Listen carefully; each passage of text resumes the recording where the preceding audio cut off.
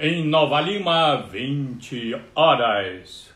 Olá, minha gente, começando mais uma live. Vamos buscar conexão hoje com o nosso entrevistado, que é o Pedro Lázaro. Vamos lá, Sabrina Dutra nos acompanhando aqui. Vou apresentá-la oficialmente na hora que o Pedro chegar por aqui. Prazer, gente, estar aqui com vocês. Uma noite fria aqui, combina com um vinhozinho que está aqui do lado. Esse Dom Quixote aqui. Ó, o Pedro! Olha, gente, qualquer semelhança, não com a minha taça de vinho. Aqui, atenção, atenção.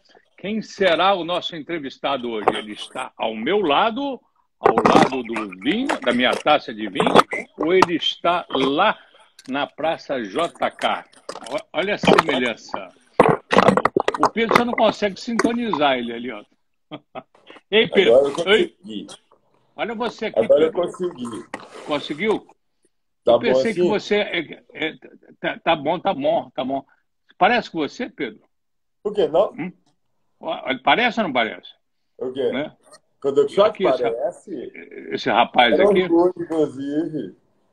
Pedro Lázaro, engenheiro, engenheiro civil, né? Não é isso? Primeiro saúde, né? Saúde a todos nós, tem que beber a saúde. Tem. Maravilha, tá cortando um pouco a cabeça dele ali, mas enfim, tá bom, tá bom, Tá, Sabrina. tá, tá. Sabrina aqui nos acompanhando, põe o rostinho aqui, Sabrina, entra ali, entra no meio ali, ó. Só viu aparecer uma mão, vai lá. A Sabrina, Eu tô- não, entra aí, menino. ó, ó lá. Sabrina me aguenta aí, não sei quantos anos, Sabrina. Né? Mais de 15. Mais de 15 anos, é brincadeira, estou velho. Ô Pedro, prazer, obrigado aí por atender o nosso convite. É gente que faz e acontece passando por aqui. O nosso objetivo é trazer é, exatamente conteúdo para quem nos acompanha aí. A gente tem aqui 16 mil seguidores, mais aqui, lá, colar. Então, só uma opção de gente, mas só de gente focada em qualidade, em produtos como o seu, que você é tudo de bom. Você está aí na Praça JK, ou daqui a pouco eu vou falar aí da, do empreendimento da EPO, 28 anos da EPO aí que nos acompanha aqui hoje nessa live, está aí do seu lado com o empreendimento que é exatamente né, É, é, a edificação Bandeirantes. Bandeirantes. Eu vou, pera, pera, pera, vai sair daqui, ó. Tchau, tchau, tchau, tchau, tchau. Tchau, Toma tchau, tchau, comer tchau, queijinho tchau. ali com a Sabrina. Então, Pedro, de Pe- Diga. Pedro, Pe- de, de Pedro Leopoldo eh, para o mundo. Ou seja, você começou a fazer arte em Pedro Leopoldo e nunca mais parou. O que? Você tomou um choque lá? O que, que, que loucura é essa? Conta pra gente. na verdade, eu nasci em Pedro Leopoldo, né, Paulo? Então, assim, eu vim estudar muito cedo em Belo Horizonte, passei desde os 15 anos estudando aqui até quase os 30.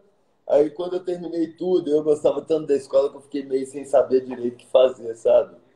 Se eu vou, se eu não voltar para carreira acadêmica ou se eu realmente iria trabalhar como arquiteto e tal.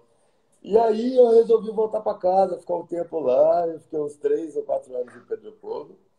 E aí eu tinha um escritório bem pequenininho, assim, uma produção bem modesta para pessoas legais de lá. E a coisa foi acontecendo de uma forma que as coisas que eu fazia por lá começaram a extrapolar. E aí eu acabei. Pera, mas, mas peraí, antes disso aí, no meio tempo, você andou de carrinho de rolimã lá, o que, que você fez lá? Brincou de quê lá? O que, que era lá? Jogou futebol? Você não tem cara quem joga futebol, não. O seu áudio Ah. está meio baixo, tá? Não, Sabrina? Pera Tá bom? aí. Pode aumentar um pouquinho aí, tá? O Tá. meu áudio É. Vê se você consegue Pera aumentar aí. melhorou? Alô, aumentando só. Oi. Teste, teste. Fa- Fala aí. E aí, tudo bem? Tudo bem, tá lindo, Peraí, maravilhoso. Mas aí, que- de, de que, que você, de que, que você fez? Que que você fez lá? Futebol você não tem cara. Apesar da sua altura, você, jo- você jogou o que lá? Quando? Oi. Alô? Meu pai jogou futebol no Cruzeiro, nos anos 50. E, e você jogou vôlei, basquete, por essa altura aí ou não? Joguei futebol também. Joguei vôlei, joguei futebol. Eu jogava no gol, na verdade, no futebol, sabe? Que era muito grande, voltou. Tinha que ser na lateral, cara. Tinha, tinha que ser na lateral, amor, em vez de ser comprido. Tá ok aí o áudio? Tá, tá, você tá mexendo muito aí, mas é, se você é inquieto por Não, natureza. eu tô tentando colocar no lugar certo. aqui. O tá, áudio tá tá, legal? Tá legal, tá legal, Sabrina. Tá. tá. Então vamos lá. E, mas aí, o que, de que, que, você lembra da, da, da, da sua terra infância aí em Peleopoldo? Ah, minha, eu tive uma infância muito legal, sabe? A gente morava numa rua que é bem no centro da cidade e tinha muitos amigos em volta, então a gente fazia mil brincadeiras de rua. É, a gente ia muito para a fazenda também e nadava no rio e tive uma infância assim bem bem típica do interior, sabe? E isso foi muito legal. E ao mesmo tempo era uma criança meio chatinha que gostava de ficar lendo tudo e e ao, e, e ao mesmo tempo gostava de brincar, mas eu gostava mais de música, sabe? de que? De, de, de, que? De música? Música, música é isso? É, é. Mas vem cá, e, mas, isso veio do, do, no DNA, o que, que você traz no seu DNA? O seu pai, é, é, qual, qual era o ofício advogado, dele? Advogado. advogado. E também foi jogador de futebol. Oh. E jogou fora do país e tal, jogou no Cruzeiro, jogou no Atlético. Na época o Pedro Leopoldo também era um time super bacana, jogou no Pedro Leopoldo também. Minha mãe era uma professora de uma escola modelo e ela era, era nutricionista e depois estudou sociologia também. Então, assim, Pedro Leopoldo vivia muito em torno da indústria sementeira, verdade? É, vivia, não nessa época, quando era criança. A primeira indústria cimenteira de Pedro Leopoldo foi em 76. Aí eu já tinha ah. mais de 15 eu já tinha 15 anos, não, não tinha. Já tá. Eu já tá. tinha aí... 11 ou 12 anos, mais ou menos. Tá. E aí, é, antes, Pedro Leopoldo tinha uma estrutura é, voltada para o comércio e para ah. a agropecuária. Depois as ah. indústrias se instalaram e hoje a cidade é movida a, a múltiplas indústrias, etc. Tá. Engraçado que está dando aqui um, uma diferença, a, a imagem dele está sendo partida, né? A questão do Wi-Fi. Vamos lá, qualquer coisa você muda aí por por, por 4G. Tá, tá bom. Olha aqui. Então, e aí você veio para Belo Horizonte, você fez o quê? É federal que você fez? Não, eu fiz, eu fiz é, federal engenharia civil, fiz, fiz é, Isabela arquitetura e depois fui estudar filosofia fora do país. É. E, e aonde, aonde, que foi isso? Estudei em Londres. Lá em Londres, de vez em quando, me sentia longe daqui. Foi por aí? Foi, foi ou foi? Cantava Caetano? Cantava Caetano? Cantava. Não, cantava... não, isso é Gil, é Gil, gente. Pelo amor não, de Deus. Isso é Gil. Mas eu cantava, toda vez que eu ia a Porto Belo Road, eu cantava é, Walking Down for... Walking Down Porto Belo Road Through the Sound of Reggae. I'm alive. E, tá. e de Londres, o que, que você trouxe aí dentro da sua bagagem, do seu diário de bordo aí? Não, a estrutura de ter ficado em Londres um tempo é uma história de, de, sobretudo, manter contato com a base da Revolução Industrial, com uma estrutura governamental completamente diferente da gente, um, pessoas muito modernas. A, a minha relação com a arte e com a moda, elas começaram por ali, porque eu tive contato com coisas tão incríveis nessa, nessa produção que eu fiquei muito impressionado com isso, sabe? Então, é, comecei a estudar a, a, e a ter vínculo com, com esses dois elementos é, quando estava por lá, apesar de antes já ter esse tipo de conexão. Mas, por exemplo, eu vi o projeto Sensations, que lançou da minha, da minha revista, é, Paul McCartney, é, Sarah Lucas, vi a primeira exposição desse grupo, na Tate Modern e eu fiquei muito impressionado. Era, parecia que a arte estava completamente se transformando e realmente estava. E, e nessa hora, é, você começa a tentar que a arte não, não, simplesmente, ela não simplesmente se transforma por si só. Ela se transforma porque o mundo está em transformação. Né? Então, os formatos de abordagem é, começam a, a ser desmistificados e, e as pessoas começam a, a, a, re, a, se reorganizar para os novos tempos. Né? Isso era o início da Revolução Digital, muito paralelo ao que aconteceu no século passado da Revolução Industrial. Né? Então, hoje a gente tem uma Revolução Digital já em consolidação, mas que é, a gente vive um momento transitório, eu entendo isso. mas que o futuro vai nos dar novos parâmetros e novas referências de viver. Que o que a pandemia trouxe isso muito afloradamente, né, vamos dizer assim. Pois, essa pauta da pandemia estava lá na frente, mas você, como é um homem que vai lá na frente, você é aquariano? O que, que é? Você, Não, eu sou escorpiano. Sagitariano, você vai já lá na frente, já, já, eu sou escorpiano, já adianta a pauta rapaz. aqui, já vai e volta lá. Qual é o teu signo? Escorpião. Escorpião? Não é? É. O Urano, isso é uma sensualidade pura, é um perigo, cara. Super, né? super, super. Isso é uma, é, isso é uma bomba ambulante. Pô, vem cá, você, uma bomba ambulante, um perigo isso aí, ó. Sexual, transpira a sexualidade.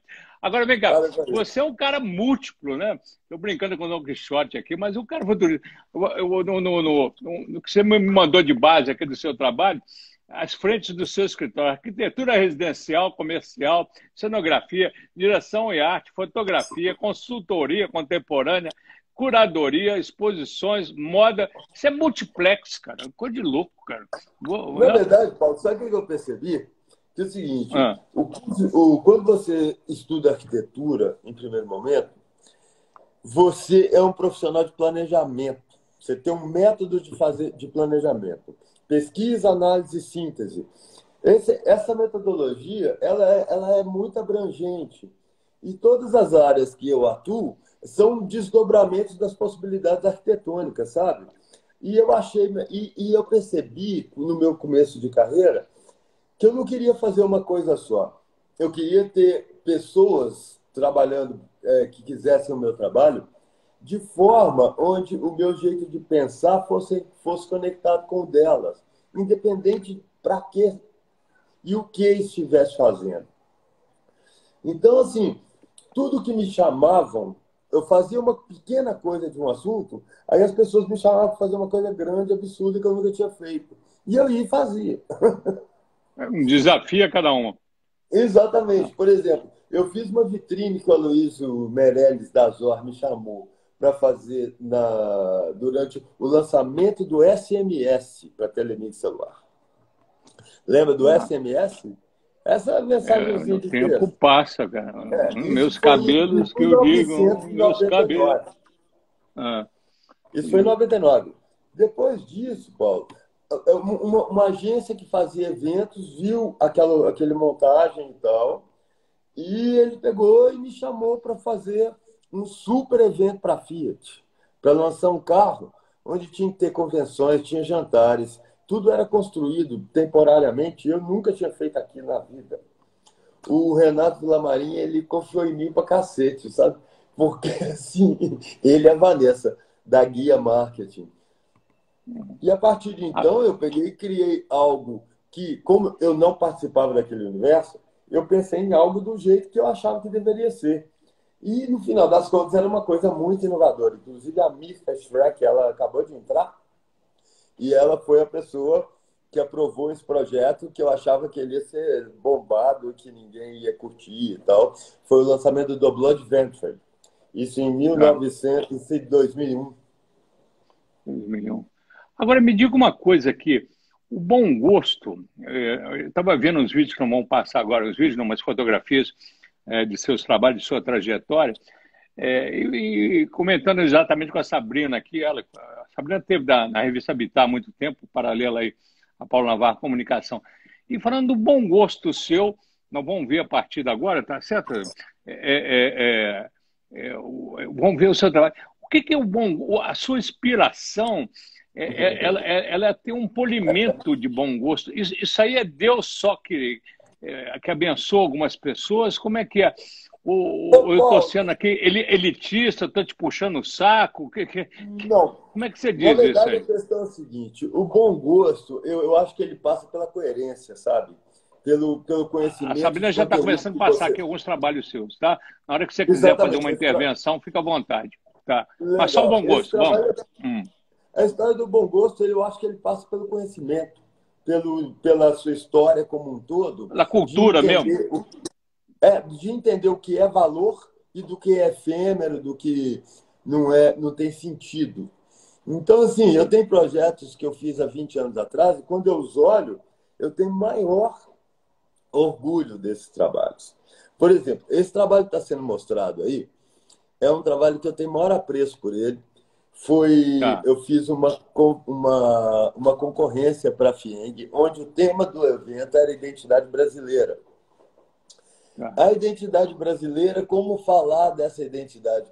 E aí eu peguei e pensei em movimentos que eram genuinamente brasileiros. Esse aí é o Minas Trend? É Minas Trend? Isso é Minas Trend. É, em 2011. Ah. Foi a minha primeira ah. edição sozinho. E aí, ah. A ideia foi... Eu, eu elegi dez grandes movimentos artísticos e culturais do país durante o século XX, desde o movimento modernista, passando pela arquitetura de Niemeyer, pela pintura de, de Cavalcante vinculada à, à, à poesia de Vinícius de Moraes, o movimento concreto, o neoconcreto, a, a, o cinema novo de Glauber Rocha, a geração 80 das artes plásticas, que foi a retomada da pintura, volta, porque esse é outro assunto. Volta, aí volta aí, Sabrina. Aí eu convidei ah. uma série de estilistas, pessoas muito legais, a Liliane Couve, a Márcia da Print, inclusive, que fez um trabalho que é tão incrível. A estamparia dela foi inspirada no movimento concreto, no trabalho de Paulo de ah, ah, esqueci. É, é um Maluf que não é o Paulo, no momento me lembrei mais.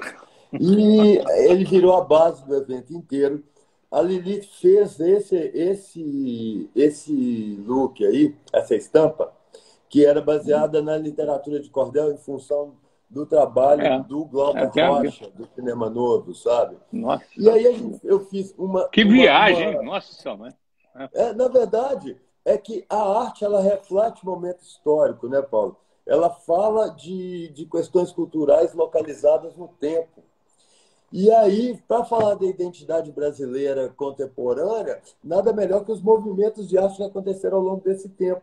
E os estilistas se inspiraram nesses movimentos e criaram estampas. A abertura do evento era essas estampas e depois ele foi, ele, essas estampas começaram a ser o, a base cenográfica do evento inteiro. Foi um trabalho tá. qual Muito bacana. Sabrina vai rodando aqui para a gente ganhar aqui, que tem muita é... ilustração aí. Tá? Você pode aqui fazer é a leitura aí, como me cortar aqui, me cortar, cortar ela também. Tá bom? Sim. Andando aí, vamos embora aqui que temos. Né? Bom, porque senão o tempo não, não dá para falar tudo. Esse trabalho foi um casamento que eu fiz para Renata, que é uma amiga querida, muito querida mesmo. E ela falou: Pedro, eu queria levar pessoas para um espaço onde elas jamais imaginavam que estariam mas quero uma dose de romance também, mas eu quero que as pessoas se sintam no momento de hoje, como num lugar moderno e tal. Eu tinha visto uma instalação na Bienal de Veneza, que era de um japonês, onde ele é, é, aglutinava fios de linhas vermelhas e que tinha umas chaves na ponta e que formava um volume muito incrível. Esse trabalho dele, era, ele me inspirou muito para produzir esse trabalho, que na verdade era um elemento feito no teto, que tem uma, uma estrutura completamente orgânica e uma composição de 65 mil placas de carpete desenhadas uma a uma, formando toda essa estrutura que vocês estão vendo aí. E nesse momento eu fiz a conexão que é o seguinte: o casamento ele significa é, o amor e significa antes de mais nada uma construção de uma vida dia após dia cada elemento desse, nessa forma orgânica, humana e tal, representava o fluxo de vida que eles teriam até então, numa atmosfera completamente inusitada, inesperada. E foi bacana, bacana, bacana. Sabe o que, que me impressiona você, que eu conheci um pouco mais durante edições do, do, do Minas Trend, é a leitura que você tem, o, o conteúdo que você tem para ilustrar a sua própria obra. Então você é. tem, no sentido, um, um conteúdo mais do que histórico. Você tem uma, uma é, você tem uma expressão que ela não, não, não, se restringe à obra em si, mas ao, ao espaço, contexto né? dela. Né? É, né? porque, Vamos verdade, rodando aí, que, que, temos aí? Esse é um outro trabalho, mas só, só, só comentando o que você disse. É, ah. O que você está falando, na verdade, ele vem porque eu tive uma professora na Faculdade de Arquitetura que ela, ela, o primeiro projeto que eu apresentei, eu achava que era a coisa mais incrível do mundo. e ela me descascou. Sabe uma pessoa que fode o seu negócio, do, do tipo de, de você. Ah, eu não sou arquiteto, nunca serei, e sou incapaz de tudo. E ela me falou uma coisa muito simples. Antes de gerar uma imagem, você tem que ter um porquê dessa imagem. Essa imagem, ela só tem sentido se ela for repleta de valores que são verdadeiros e simbólicos para você e coerentes com o que você quer retratar dentro desse projeto. A partir de então, a gente ficou amigo íntimo para sempre. A Jurema Rugani, que é uma mulher maravilhosa, e ela me direcionou nesse sentido de compreensão que a estrutura arquitetônica não é simplesmente uma estrutura imagética. Ela é um lugar onde você coloca todas as estruturas simbólicas de, de, de jeito de viver, valores humanos inerentes e questões que são fundamentais para o viver ou para usufruir ou para perceber. E aí as histórias Sim. são contadas a partir de tá, histórias tá. anteriores. Antes de passar Esse trabalho o... que está sendo mostrado aí ah, é uma ah. edição do Minas Trend que, assim, tem o maior orgulho dela. Foi onde foi o primeiro Minas Trend que eu fiz, que tinha direção criativa de, de, Mary, de Mary Arantes, que eu também fiz o showroom dela. A Mary é uma querida, a gente fez uma coisa muito linda. É, era para falar de sustentabilidade. O desfile foi feito a partir do imaginário se as ações sustentáveis fossem naturalmente realizadas, se as pessoas entendessem o universo na sua plenitude, como que isso é trabalhado e como isso acontece e, as respostas são todas no dia a dia, como seria, como seria o mundo a partir das sensações que as estruturas naturais é, se revelam e que o grande problema é que o homem luta contra a natureza, então, em vez de se agregar a ela. Então, nessa hora do desfile, começava com uma plataforma que era uma caixa de feita em, em numa tela transparente, onde você ilumina por trás, por dentro aí você vê lá fora, e quando você escurece por dentro, você tem a imagem projetada. E o vídeo do Éder Santos, que eram pessoas nadando nuas, como se fosse no próprio nascimento, era um elemento muito fundamental no sentido de entender a leveza e a naturalidade de lidar com os processos naturais. Então, tá, agora foi... pergunta, pergunta a você aqui. Nós vamos ter que andar Para mais rápido, senão não, não desenvolvemos. Uma, uma, uma indagação. O artista se preocupa, independente do que ele quer passar, do que se, se passou ou não o entendimento para aquele que está é, testemunhando, está conhecendo o seu trabalho, está acompanhando um desfile num todo. Você, você pessoalmente tem essa preocupação? É, ou, ou, ou, o cara sai dali, é coisa de arquiteto, coisa de louco, né? Coisa, cadê o Don Quixote? Está tá tomando, comendo ali, né? Você já fez uma pesquisa para saber? Você está me entendendo, né? Ou, ou, ou você acha que, que passa direto? A grande questão do artista, do meu ponto de vista, é o seguinte: é, é, um, é um processo individual, investigativo, numa busca, de, uma pesquisa incessante, na, é, com o objetivo de gerar uma narrativa. Essa, essa narrativa ela acaba se refletindo num objeto estético. Mas esse processo, no meu ponto de vista, ele é mais importante que o próprio objeto.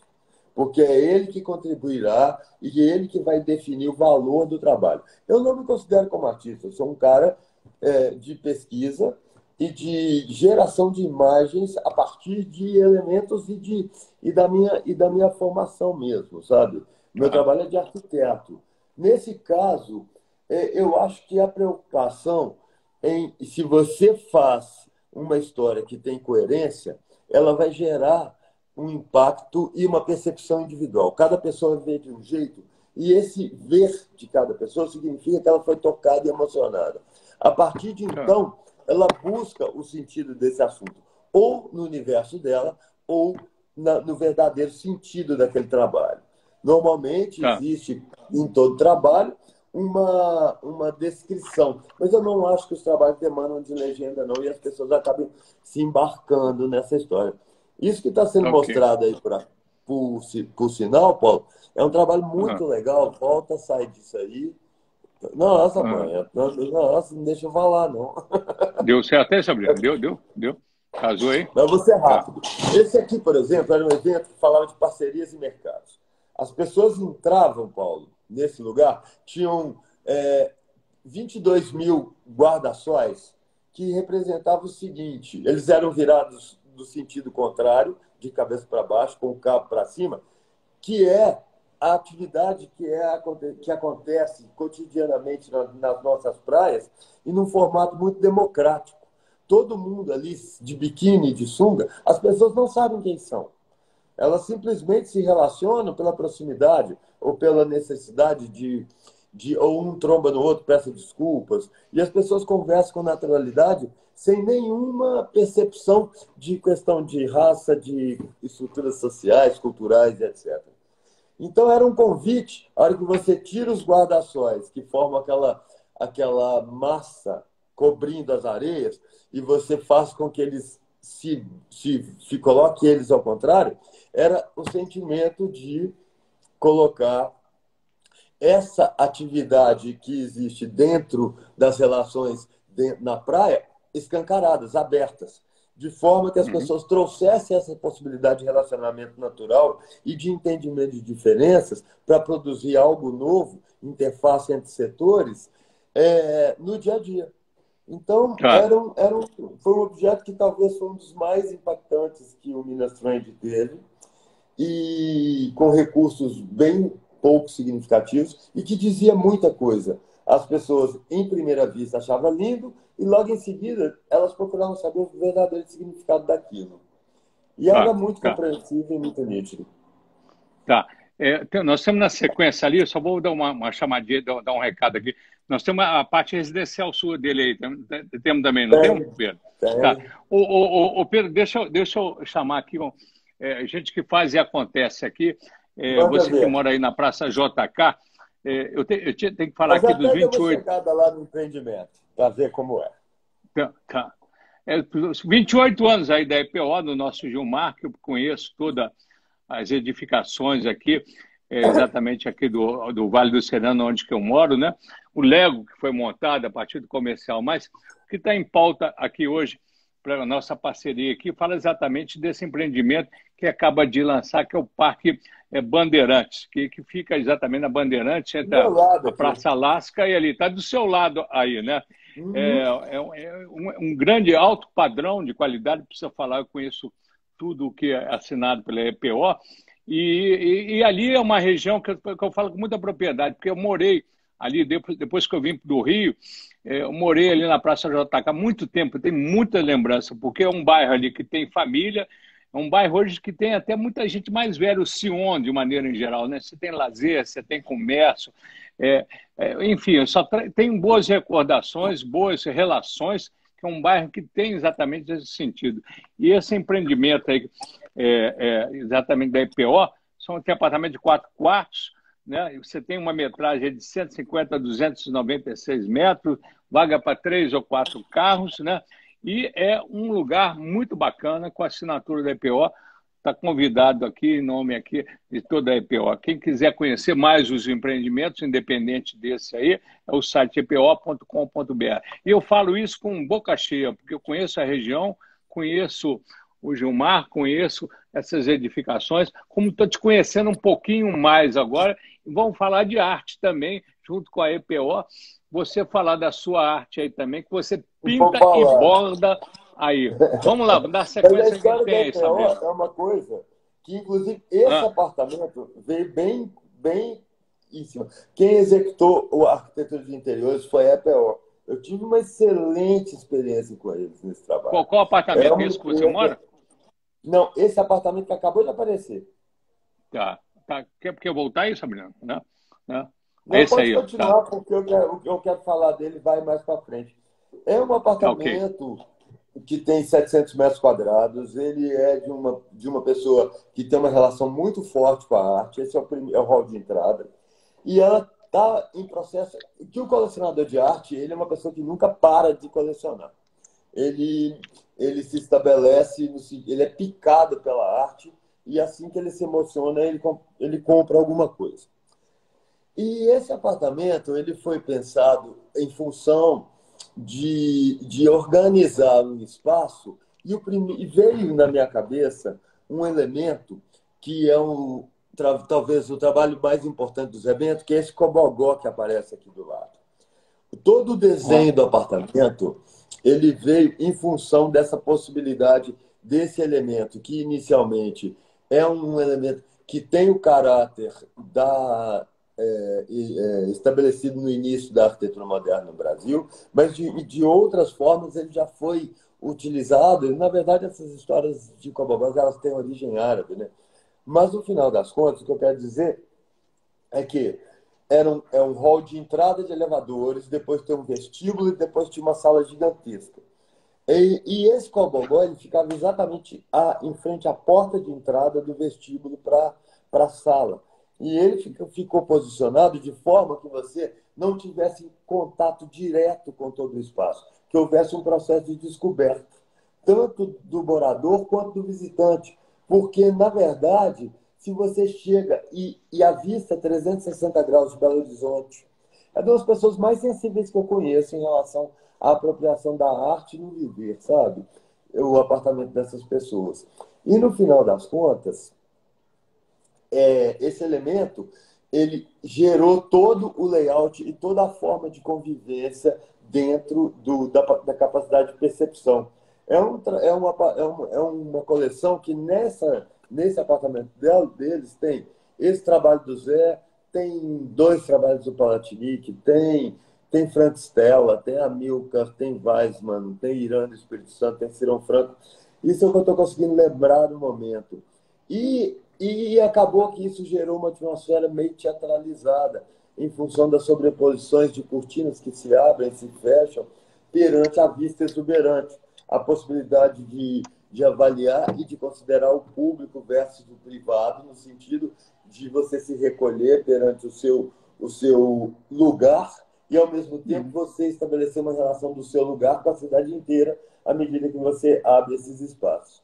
Então, esses tá. elementos vazados e transparentes, para, agora é outro projeto. Tá. tá. Não, porque a gente tem que adiantar aqui, porque você, para cada um, você vai fazer uma viagem. Ah, não, se você deixar. Porque a live tem, a live tem tempo. Em uma hora eles cortam aqui. Agora, é, é, me diga o seguinte: é, pelo que eu conheço do seu trabalho na, na linha residencial ou comercial também, você, você foge um pouco de uma linha minimalista, né? Porque a gente vê que todos os seus trabalhos, você citando o Zé Bento aí tudo, ele é aquecido, enriquecido exatamente com, com a arte, né? Você faz essa integração. É até o, o lema é, é, é, da arquitetura e arte que a gente escolheu aqui Exatamente. para essa live. E, e você, que, que, que, você tem uma, uma, uma, linha, tem, tem como definir, tem como te botar um, um gesso ou você, entre aspas, engessava? Na é verdade, é Paulo, tem, tem estilo, não tem? Tem um nome, sabe? Né? Essa questão estilística que se coloca minimalismo, ismos, ismos mil que existem nesse sentido. Clean, eu, no meu caso, é o seguinte: é esse, é um, eu penso o essencial. O essencial. É, poderíamos é, traduzir. O que, que, é o essencial? O que, que é o básico? É uma, uma história assim, essencialista. O essencial, o movimento essencialista no qual eu me encaixo, que nem sei se ele existe, mas ele é, seria uma questão estilística para definir melhor o meu trabalho, é aquilo hum. que é ne realmente necessário com o máximo possível, é o mínimo necessário, com o máximo possível de elegância, de beleza e de relação pessoal com essa estrutura objetual que existe aí dentro. Então, são, ah. são, é voltado para a essência mesmo de cada projeto, ah. de cada cliente e de cada conceito passado para que eu estabeleça uma relação de imagem. Então, nesse tá momento, parece que eu estou estabelecendo um, uma questão que às vezes é mínima, é porque o essencial para aquela pessoa é isso. Nesse apartamento, tá. por exemplo, eh, pode falar, Paulo. Não, não, eu ia perguntar se você. Como é que é esse diálogo seu com o cliente, com, com o seu cliente? Né? Você, você tem um lado psicológico para entender o que, que a pessoa quer que preencha, que conviva com ela dentro do espaço dela? Ou, ou como é que é isso aí? Questão, Ou tem gente Paulo, que assusta com Dom Quixote aí, de repente. Não, não, não assusta não. Na verdade, as pessoas, elas me... Todo... Eu nunca procurei um trabalho, assim, nunca comecei, nunca fiz uma estratégia de marketing não fui, nunca fui uma festa para captar projeto, nada disso. É zen? O negócio é zen?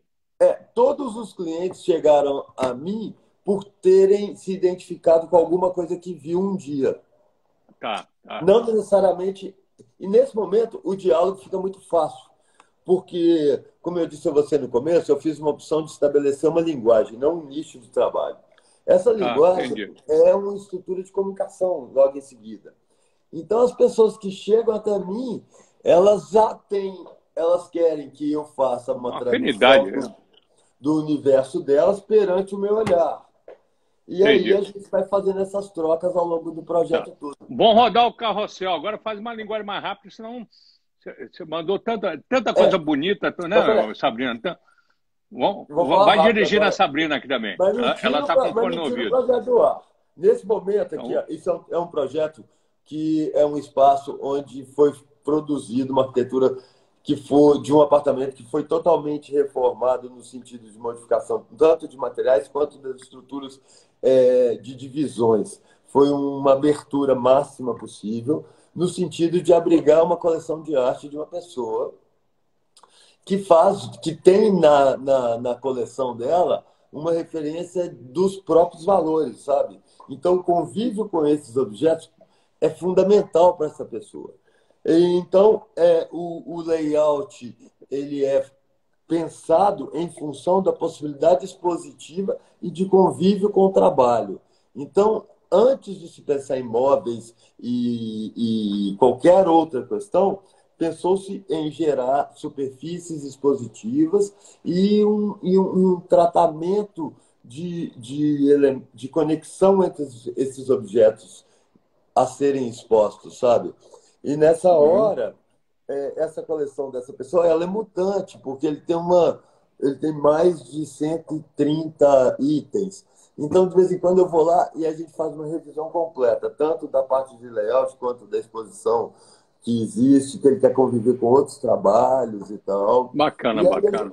Existem quatro, quatro versões desse projeto, essa é a última. Tá. Tem alguma coisa comercial aqui? Algum projeto comercial? Ou não? É só não, residencial? Não, não, coloquei nenhum projeto, nenhum. Não, né? Então vamos rodar mais rápido aqui agora. Senão aqui. eu tinha atropelado pelo tempo. É um projeto super legal, Paulo, que é, foi uma casa cor. Em 2000, foi a primeira casa cor que eu fiz.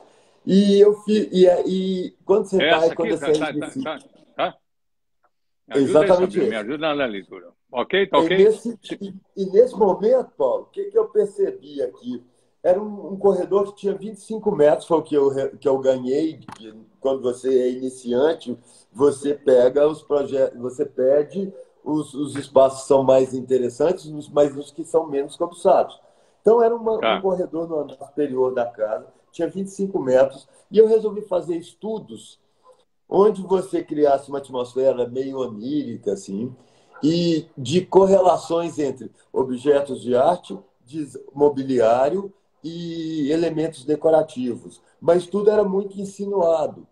Quando você percebe essas cadeiras posicionadas em linha, elas só são as arestas, elas não têm lugar de sentar. É muito mais um estudo da possibilidade da composição e tem um trabalho da Rosângela Renault lindo em cima e um tapete de seda da Bilé embaixo e tal. Ao fundo tinha esse, essa estante onde a pessoa colocava todos os acúmulos dela, todas toda a história. E eu desenhei um aparador que não fica em pé, na verdade, ele ficava, ele ficava meio que encostado na parede. Se ele se mexesse, ele caía, porque ele só tinha três pés, eram dois cavaletes, nessa estrutura da instabilidade da pessoa da coleção.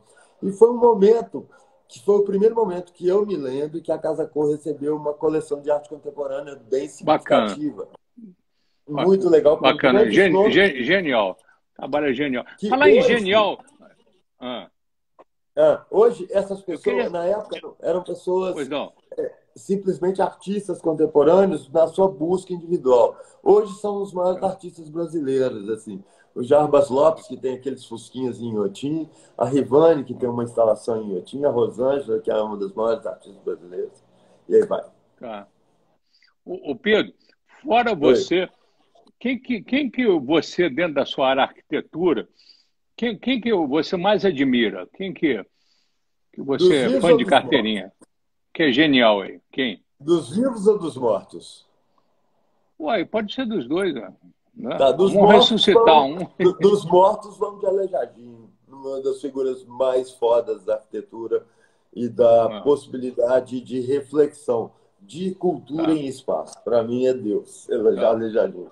E os arquitetos modernistas, o holandês Rem Koolhaas, eu acho, eu sou muito fã, porque ele pensa a arquitetura no sentido humanista da, do, é, da palavra, no sentido mais humanista do significado dessa, dessa vertente filosófica, onde ele organiza espaços e vinculados à tecnologia produzida pelo próprio homem, mas para a utilização pelo ser humano, mas ao mesmo tempo com uma necessidade de provocação e de, e de resposta perante a percepção da, do, do trabalho dele, segundo o espectador.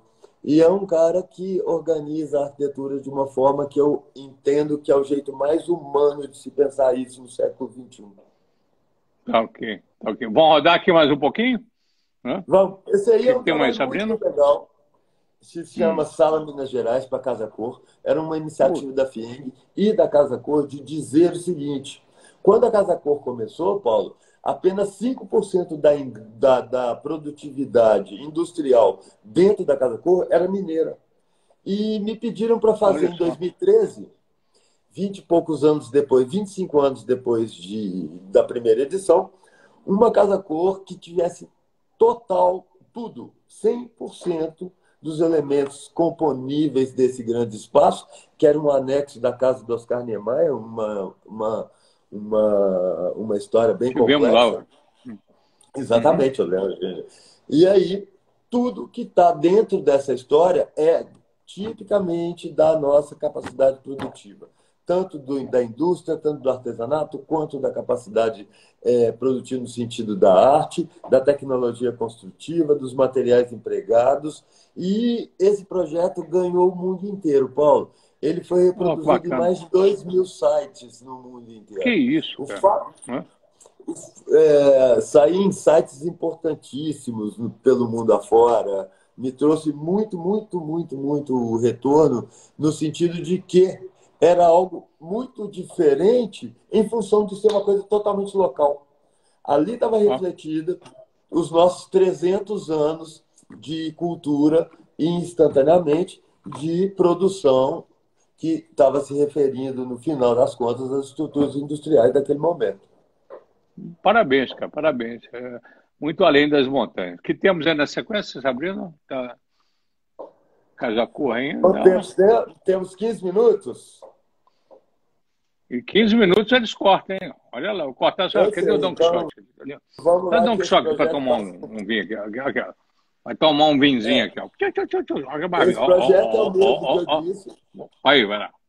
Aqui é mais Ele um projeto voltado para a exposição de arte, onde eu peguei de base para o pensamento uma história de um ladrilho produzido por um grande designer de, de cerâmicas que temos em Belo Horizonte, e no Brasil e no mundo, que é o João Grilo, um tapete de uns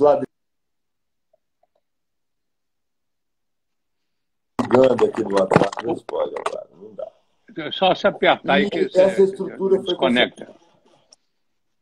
Eu já te peguei. É. E tá ok? Tá me vendo? Tá tudo ok? Tá, tá tudo ok. Tá. Hum? Não rende aí. Né? Deve ser algum fã. Então, esse trabalho foi onde eu. Tá cheio de fã, né? Não, não, tá muito. Tem algum é fã que você consegue ver? Você pode passar para mim, Samuel. Olha aqui. Aqui. É, é, é eu vou continuar, mas só uma, uma pergunta. Contextualizando Belo Horizonte, aí, é, no, no, no, quesito mobilidade, no, no quesito é, é, urbanismo, a partir do projeto inicial de Arão Reis, não é isso? Estou certo? Acho que é isso. Né? É, como, é, como é que você vê aqui a cidade, só para variar o tema aqui um minutinho, como é que você vê o Belo Horizonte é, de, de hoje aqui? É uma cidade viável? Eu que moro aqui nesse entrocamento aqui de, de Nova Lima, Belo Horizonte, eu fico pensando o que, que, que vai dar nisso aqui, cara. Né? Se não sair. Eu acho que, eu acho que os formatos, eu acho que os formatos das zonas de, de expansão, em determinados momentos, elas são superestimadas. E você tem hoje, por exemplo, um lugar que poderia ser muito confortável, que no futuro, para mim, as questões de, de tráfego vão colocar as pessoas que moram nesse lugar de uma forma muito complexa. Por exemplo, quando você pensa em Belvedere, Vila da Serra etc. São confortáveis, são edifícios incríveis, tem estrutura de mobilidade interna dentro do bairro muito boa, mas as zonas de acesso às outras áreas, em, em horários de pico, são insuportáveis. Outro, outra questão. E aí? E aí é que. Você não tenho... tem. Não, não, não há plata? O que fazer? É, não há plata, mas só que a plata deve ser pensada quando se está gerando a zona de expansão. É, a questão é que cria-se, é, vamos dizer assim, oásis da, da possibilidade do bem-estar do viver dentro da cidade, mas não se pensa em infraestrutura. A infraestrutura ela é, ela é fundamental antes de se gerar uma zona de expansão. E as pessoas não pensam que aquela aglomeração dentro daquele espaço vai gerar uma determinada demanda de entrada e saída daquele lugar. E essas entradas e saídas, elas continuam... Pois é, mas, mas o, você, você, como você tem Alphaville, é, é, que é, você também está se vendo montar um, Lego lá também, de estruturas iniciais, é, comerciais e tudo, para depois a, a, a, os habitantes, os moradores, quer dizer, desculpe, é, eles se, literalmente se assentarem e, e terem ali autossuficiência médica, hospitalar, educacional. É, é, isso é o futuro. A pandemia não trouxe isso como novidade em termos de, de, de, segurar a pessoa mais dentro de casa, conciliar o trabalho, o home office com, com, com, com a família, etc. Ou isso é só uma, um sonho de, um, de, uma pandemia. Isso vai voltar, vai voltar tudo ao normal, esse... o trânsito cheio, as veias, as artérias de Belo Horizonte entupidas, é infarto para tudo que é lado aí. Né? Eu vejo o seguinte: quando você coloca é, essa, essa, essa questão de você trabalhar, se divertir e você é, ter todas as funções dentro do mesmo espaço, isso é o legado moderno. Isso é um pensamento de Le Corbusier na Cidade Ideal de 1928 onde ele entendia é, que a casa não seria mais um, um, uma, uma referência cultural, seria uma máquina de morar em função dos movimentos industriais que aconteciam naquele momento.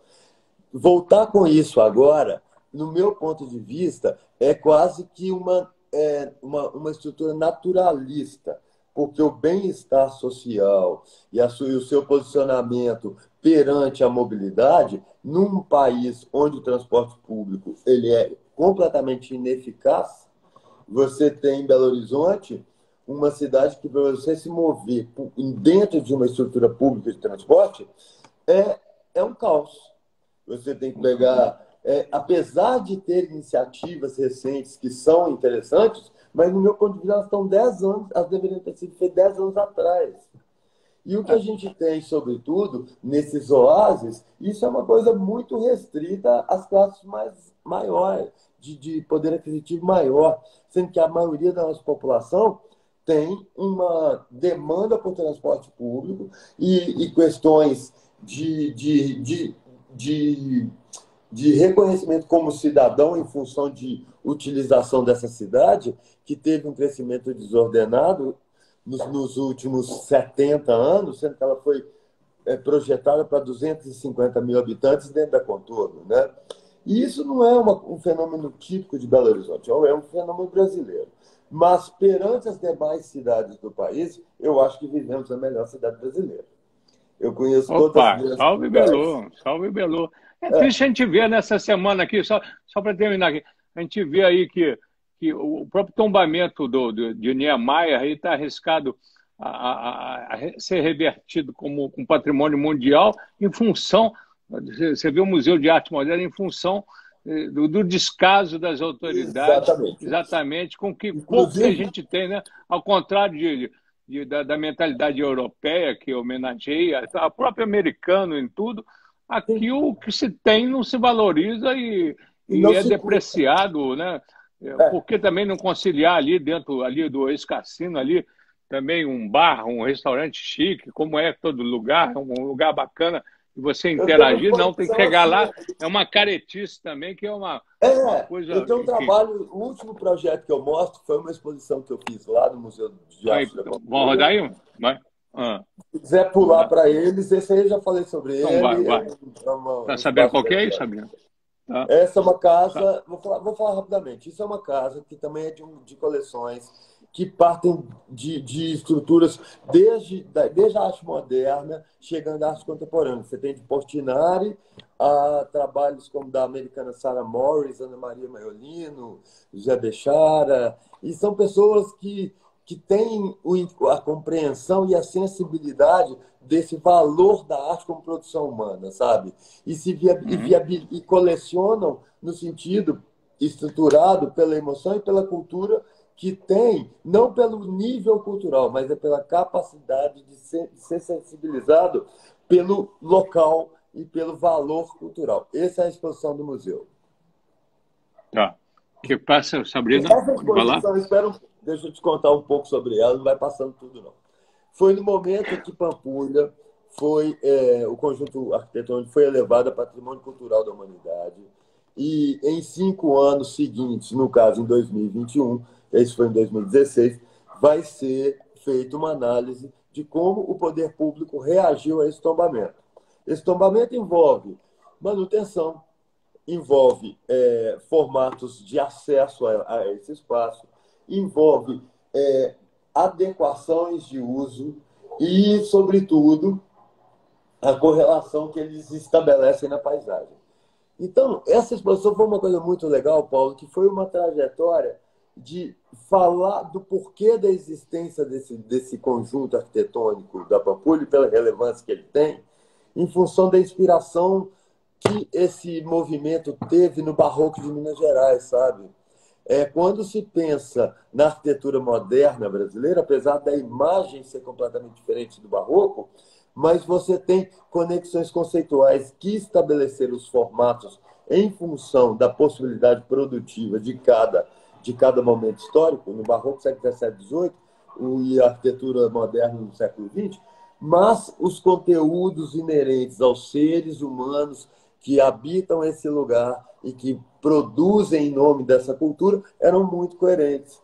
Aí, aí dentro desse projeto, foi uma exposição feita em parceria com a Secretaria Municipal de Cultura e a Casa Cor de Minas, onde a gente fez um tratado que estabelecia as relações desse espaço arquitetônico como objeto e como conteúdo cultural com a arte que ele já abrigou um dia e faz parte do acervo e o design que teve como inspiração, independente do tempo, o, as estruturas modernistas. Esse edifício ele não foi feito para ser um museu, ele foi feito para ser um cassino, um lugar de, de, de se divertir. Ele não tem a capacidade em função de insolação, em função de climatização e de uma série de outras questões, um, um, um, ele não é um espaço efetivamente para a exposição de arte. Mas ah. é, ele é um dos, um dos, edifícios, no meu ponto de vista, o mais importante da arquitetura moderna brasileira, porque nesse momento ele estabelece o jeito brasileiro de ser via um momento histórico tecnológico. E aí.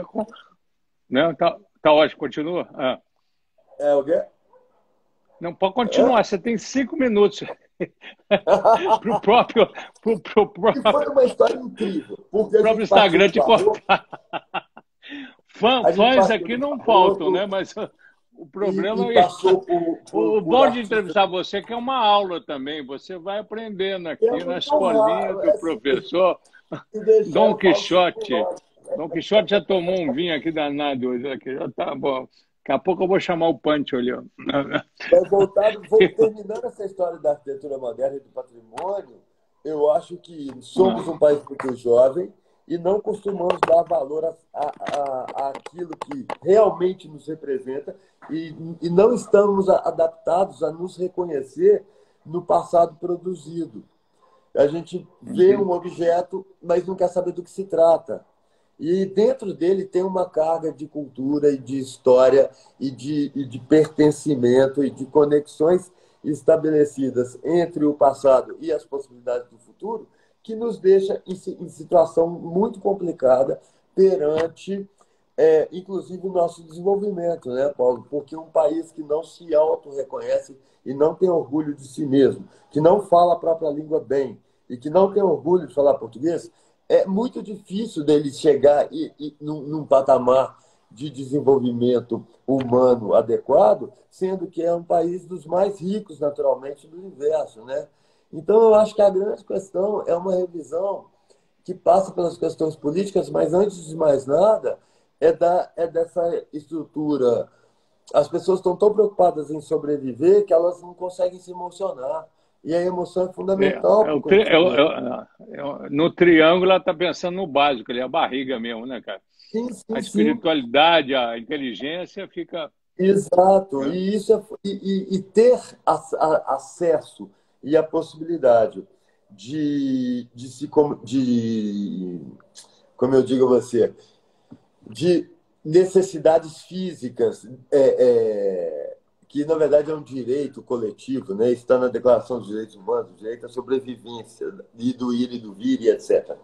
Dentro dessa história, se tivéssemos, se as pessoas tivessem um mínimo, com certeza o grupo coletivo iria se sensibilizar perante o trabalho do Niemeyer, perante o Barroco Mineiro, perante o Art Deco de Lourdes, que foi totalmente destruído, e etc, e etc, etc, e a arquitetura pós-moderna dos anos 80, de Alemanha, de, de Jô, e eu não sei que dia, que isso, até quando isso vai acontecer. Um dos trabalhos do, do Cari foi demolido do nada.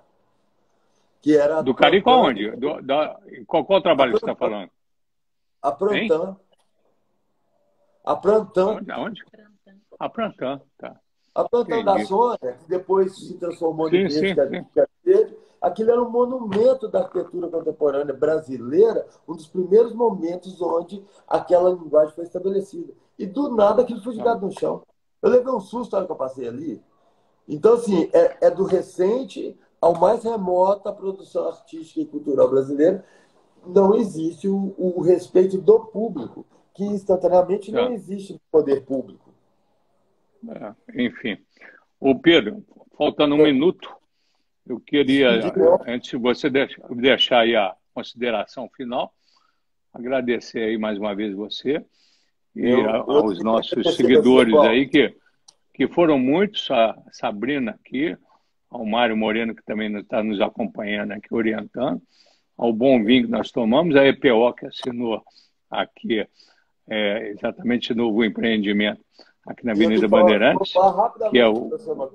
Então fala aí. Ó, se cortar não fui eu não. É o seguinte, é, a gente conhece há muito tempo, você acompanha o meu trabalho, e você é uma das pessoas que lê o meu trabalho da forma mais adequada, porque você me pergunta de uma forma já sabendo do que se trata. Eu tenho profunda admiração por você e gosto muito de você. Ô, querido, ó, recíproca é verdadeira. Então vamos deixar eu fazer um brinde aqui e a reflexão final sua aí. Vamos lá? Eu vou, vou, vou dar um golinho antes aqui. Vamos, vamos, vamos. Vamos lá. Reflexão eu final aí. Eu acredito o seguinte, que, é, que a gente tem que se perspectiva. À medida que o, que o grupo se desenvolve, seja um grupo local do, do seu edifício, seja a sua comunidade abrangente, seja a sua cidade, seu país, o bem coletivo ele reflete instantaneamente no, no seu bem individual. Não, para a gente poder pensar em ações que sejam que, que reverberem as possibilidades da evolução humana como um todo. Que quanto melhor ficar o todo, para todos, para todos os outros será melhor.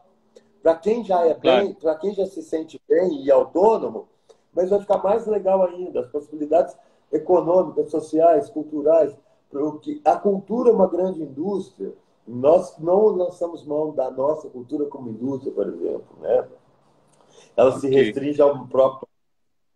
E, então, é, é, pensar no todo, que o todo faz o seu individual ficar melhor. Eu acredito na filosofia de vida okay. é isso. Ô Pedro, obrigado aí por emprestar a sua inteligência, a sua genialidade, é. e é isso que é o nosso propósito aqui com as nossas lives. Beijão no coração. Obrigado. Até o próximo. Convite. Depois vamos tomar um vinho, um vinho junto, fazer um brinde junto. Né? E tá tudo de bom para você. Nunca vi tanto aplauso aí. Você, tem muito, você é muito querido, né? Tá ok. Um abração. Fica com Deus. Ô, né? muito obrigado. Abraço, hein? abraço. Obrigadão. Tchau, tchau. Tchau, tchau. Tchau. Quantas pessoas fazem um print ali na hora? Ah. Fechou, fecha.